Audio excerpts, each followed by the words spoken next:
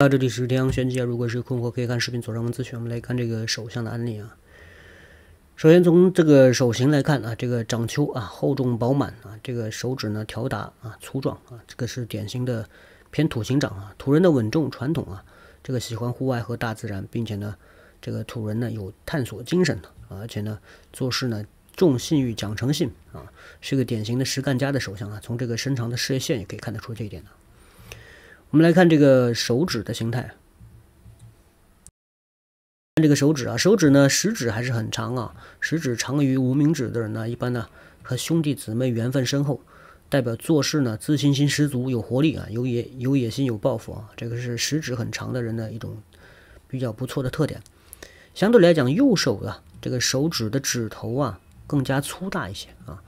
那么指头啊似鼓槌。这个指头粗大的人呢，一般呢有一些事必躬亲偏劳碌啊，这个也符合这个土长人的这种勤劳肯干的特点啊。这是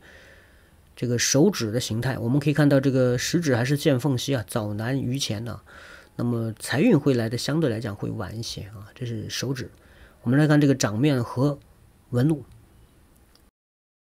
掌丘来看呢，这个金星丘啊尤为的高隆饱满啊。金星丘呢是代表体质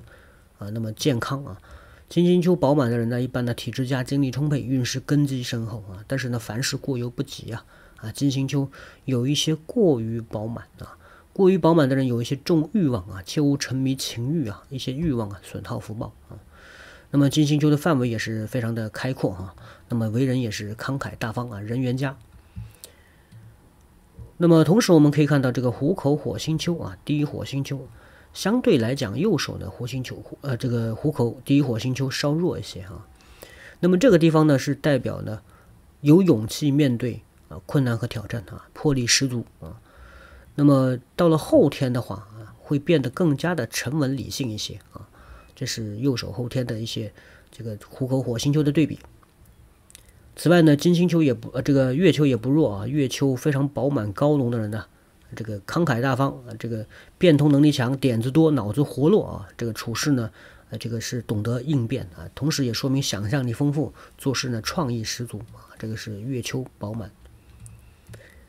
那么第二火星丘啊，这是第二月球的上方啊，第二火星丘饱满的人呢，一般道德感强啊，富有正义感啊，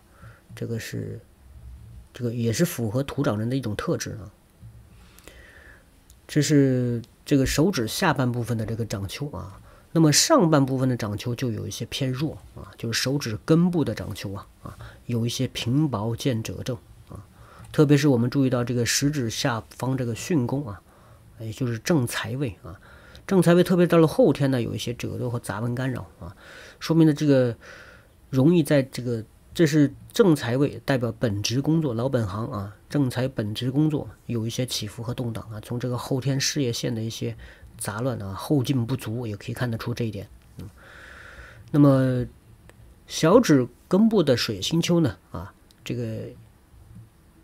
也也见一些杂纹的干扰啊，也见一些杂纹的干扰。那么这个地方是代表这个沟通能力啊。这个包括自身的个性的开朗程度啊，那么到了后天呢，似乎会有一些这个更加的啊，显得有一些这个啊谨慎和保守啊，特别是在这个沟通能力方面呢，有一些偏弱啊。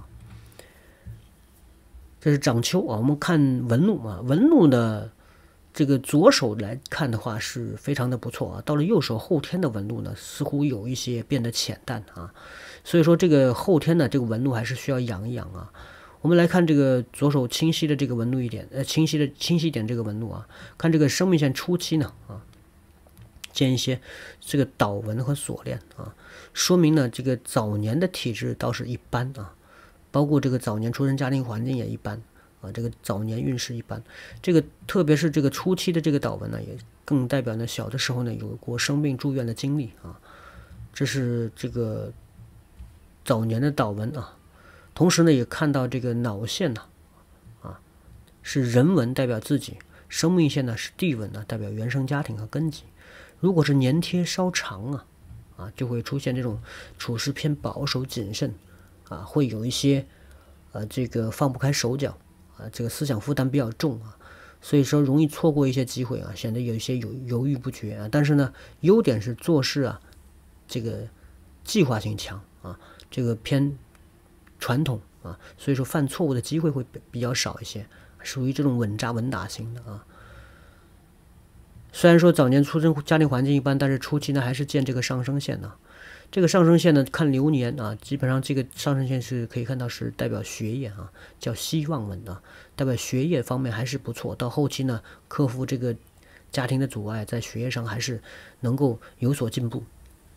只是在分离处呢，也是见一些倒纹。分离处呢，是代表脱离原生家庭独立的阶段啊，也就是出入社会闯荡，或者是啊这个脱离原生家庭进入高校校园的阶段啊。这个阶段呢，见一些坎坷和动荡啊。这个。这个阶段的阻碍呢，啊，不乏有一些这个烂桃花的干扰啊，包括感情线的动，感情方面的一些动荡啊。我们见到初期呢，感情线呢见一些横呃这个向下向下的支线啊，包括这个有一些这个感情线的这个导纹啊，可以看到这方面的信息。在感情当中呢，呃，二十五岁左二十五岁左右可以见这个可见这个泛情商的这个经历啊。并且呢，我们从亲密关系线也可以看到，流年来看，基本上是二十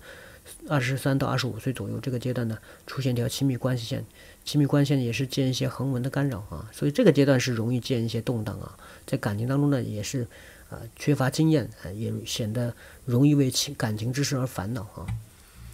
这是青少青年时期的一个感情方面的动荡啊。我们注意到，在这个生命线流年来看，基本上这个。在分离之后呢，生命线慢慢的加深了啊，慢慢的加深，并且呢，一直持续到这个整个中年的阶段。所以说，强运还是在中年呢啊啊，这个中年要把握机会的话，在事业和财运方面能够，包括这个感情方面都能够有所突破。后期我们注意到，从这个亲密关系这个延伸之后呢，似乎在中年呢又建一条这个亲密关系线啊，也建一些横纹干扰啊。这个就对应在这感情线中期呢，有一件，有一段这个啊长条的这种两条线两条感情线并行的一条短线啊，那么这个就在感情当中呢，在中年啊甚至进入婚后呢，就容都容易出现这种啊这个犯情伤或者烂桃花干扰的情况，影响到婚姻的稳定啊，这个是需要多注意防范的啊。这是这个亲密关系线啊，结合感情线来一起看这个。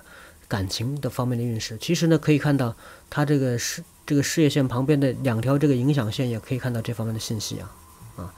基本上都可以看到这两条影响线呢，这个如果是跟事业线呢出现这种呃相交啊这种情况的话，就容易在这个感情方面遭遇一些烂桃花的干扰。那么有关事业方面，我们可以看到这个事业线呢还是伸长啊，并且呢冲破了。啊，脑线和感情线啊，也就是说，过了这个脑力关、能力关啊，也过了感情关啊，所以说情关过了啊，这个能力关也过过了两道关口，在事业方面还是能够有所突破的啊，并且呢，这个这个事业心也不弱啊，事业线事业线呢，这个冲破了天文，形成这个冲天文啊，在这个中指土星球下方啊，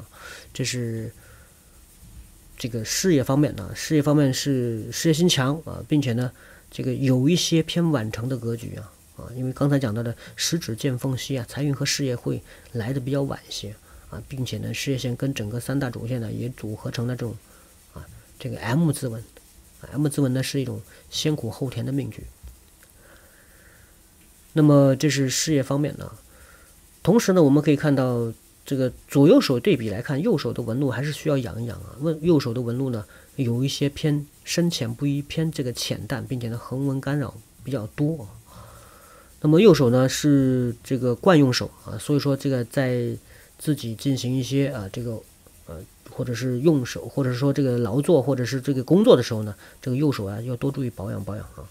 因为这个本身呢如果是掌丘起减掌色跟左右手对比相差很大的话，就容易出现这种运势的反复啊。那么关于财运方面，我们可以看到这个财运线呢，虽然是比较浅淡，但是我们见这个生命线延伸出来的这个支线往中指土星丘呃中指呃这个食指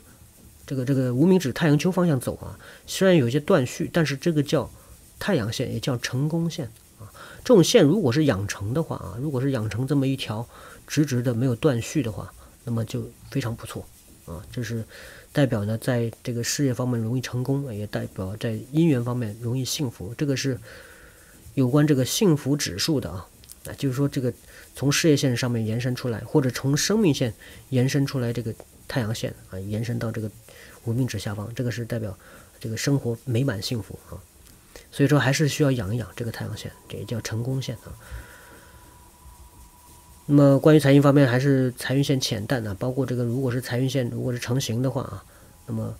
它会和这个事这个事业线啊、脑线。以及这个生命线啊，组合成这个元宝型的财库。这种元宝型财库呢，是容易在财运方面起到一个催旺的作用啊。但是呢，啊刚才讲到的财运线浅淡啊，导致这个地方啊掌底坎宫出现开口啊，容易出现漏财的情况，需要这个补充财库才能够化解。加上这个本身呢见缝隙啊，这是整个手相的分析。如果是有困惑，可以看视频左上方咨询。我们下期再见。